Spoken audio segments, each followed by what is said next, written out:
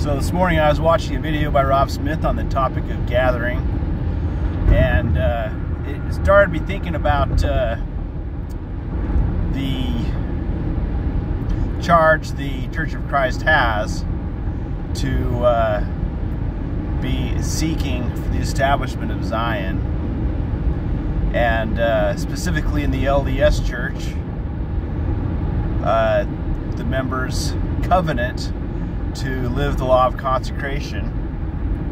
Specifically, they uh, covenant to consecrate all their time, talents, and everything for, with which the Lord has blessed them or with which He may bless them to the Church of Jesus Christ of Latter day Saints for the building up of the kingdom of God, for the establishment of Zion.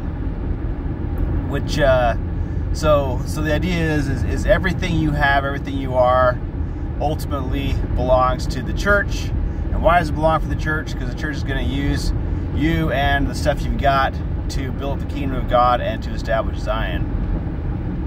And so, this begs the question um,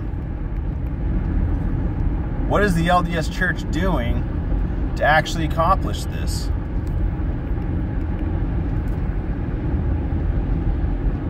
Last I checked, the church has about 17 million members.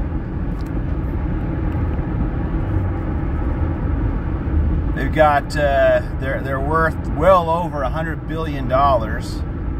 They've got crazy amounts of real estate, and uh, they're supposed to be led by prophets and apostles, seers, revelators, all that. They're supposed to have the high priesthood, the fullness of the priesthood, all priests and keys. They've got all this stuff.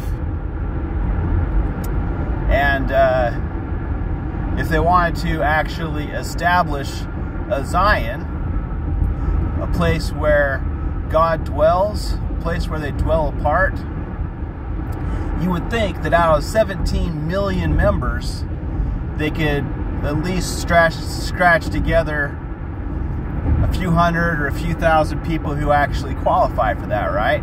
I mean, 17 million people, they've got to have. Uh, you know, you you would think all these righteous people they'd have maybe you know four or five thousand people at least who are super righteous, have repented of their sins, have faith in Christ, and could establish Zion. And you would think that with a portfolio worth well over a hundred billion dollars, they could go buy an island somewhere or uh, buy up a bunch, buy up a bunch of real estate, establish a county like what Rob was talking about, and uh, get this ball rolling. And uh, you know, we keep on hearing about them acquiring crazy amounts of real estate, um, and doing all these business ventures, and talking about uh, um, three, uh, about. Um, building up Israel and whatnot. But so far, there is absolutely no mention at all of any kind of plan whatsoever to establish Zion. So, this begs the question uh, as to why any member of the church would be consecrating anything to the church, considering the fact that there's nothing being done at all for the for the establishment or the building up of Zion. And then, uh, additionally, if you look at the tithing of the church, which, uh, according to uh, LDS scriptures, tithing is supposed to be used primarily to help the poor.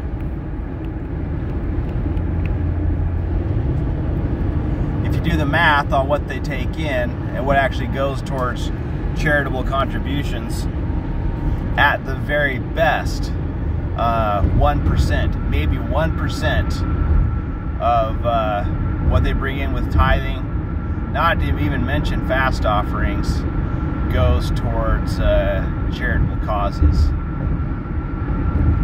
And so